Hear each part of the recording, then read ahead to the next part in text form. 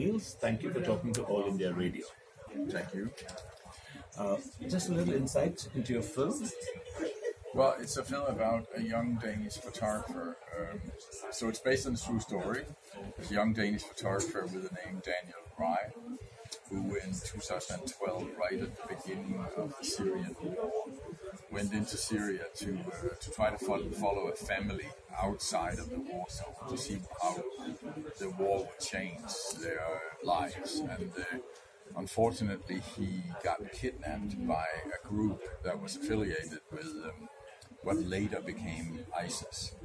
And he ended up being in uh, captivity for 13 months. Um, and he was treated quite brutally. Uh, and the one thing that kind of saved his mental, um, what do you call it, uh, saneness, so you say, was that he ended up in a cell with the American hostage, uh, James Foley. And uh, James Foley became like an older brother to him, and James Foley had been uh, captured before, so he was experienced in in surviving this kind of ordeal, and uh, he helped Daniel to restore his sanity in that sense.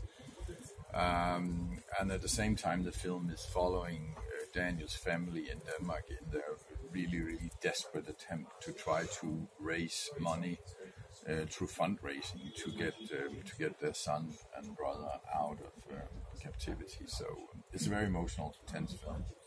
Uh, what were the challenges, if any, either creative or bureaucratic? Because uh, generally, when uh, we say ISIS, it kind of tends to raise uh, red flags.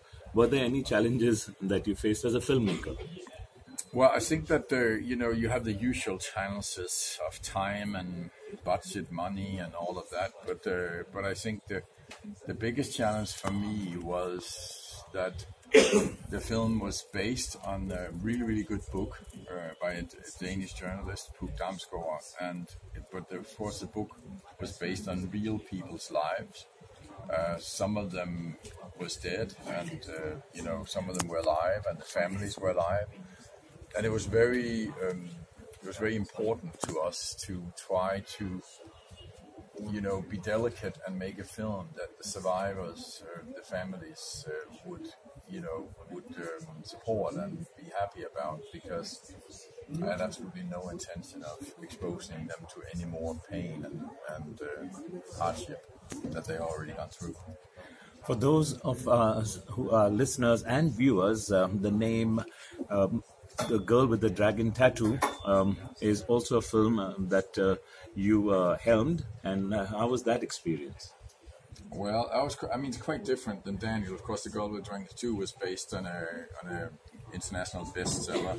Although I will say, when we started the process of the screenplay, plotting out the film and all of that, the success of the book was not as big as uh, it was a success in Sweden. It had started to spill into the other Scandinavian countries and just about to start selling in Europe. But so one of the challenges was that the expectations and the success, the, the success of the book grew and grew and grew, and the expectations for the film grew and grew, but the budget stayed at the same because the budget was determined when nobody knew that the film was going to be a big hit. So we actually ended up shooting this film for five and a half to six million dollars. It's a two and a half hour feature film with, you know, a lot of uh, crazy stuff going on, um, and it became, you know, the biggest Scandinavian film ever. Uh, so uh, it's the biggest box office hit for, and it's one of the biggest European films. Uh, I think only surpassed by um,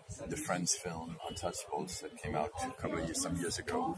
So, so it was a challenge to shoot something that um, difficult. You know, um, car chases and people getting hung and violence and nudity in uh, in that amount of time.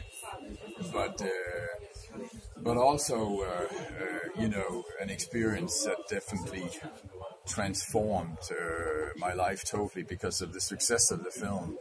Uh, we sold the same amount of tickets in Scandinavia as Titanic. Wow! So, uh, so it was actually kind of in a way, I felt I had to leave Denmark to take challenges in the United States before I then could come back and shoot Danish film. Because when you sell that many tickets, the expectations are for your next film is ridiculous. So in some ways, it was better to go to America and uh, take the twist with American filmmaking, which is a whole different ball game, I would say. You know what rhymes with Hollywood, right? It's called Bollywood. Yes, yes, yes. I could have gone to Bollywood, but I went to Hollywood. but do we have a chance of uh, seeing your work over here? But I mean, uh, yeah, I think it would be never know, say awesome, never. awesome to shoot an Indian film. But I mean, I, I, you know, it's always say, do you know enough cultural about a place that you could uh, shoot a film here? Um, but I do think the the Bollywood genre is very fun. But you know, would I come here and try to shoot something and then fuck it all up? I don't know. I don't know. we don't know. Or I might make a big hit where you know, you never can tell. Super nice Yes. singing and dancing and all of that. But but I think that um, you know this is my first time in India, um, and my you know at all, and I think that there's a different spirit here. There's a very warm. People are very warm. There's a great hospitality. Uh, you know, uh, it's it's quite different feeling than uh, people in the United States and the West. Um, they are also stuck up and anal, but here in India, people seem generally more enjoying life and happy, which is definitely something that could get me to go to Bollywood. Well, on behalf of all the Indians who are watching this, I'm going to say shukriya, which means thank you. Thank you. Shukriya. Much. Mange tak. And uh, namaste. Thank, thank you in uh, Danish. One duck, and uh, uh, wish you all success uh, in all your future endeavors, Niels. Lovely talking to you. Thank you for talking to All India Radio. Thank you very much. Thank you. Bye.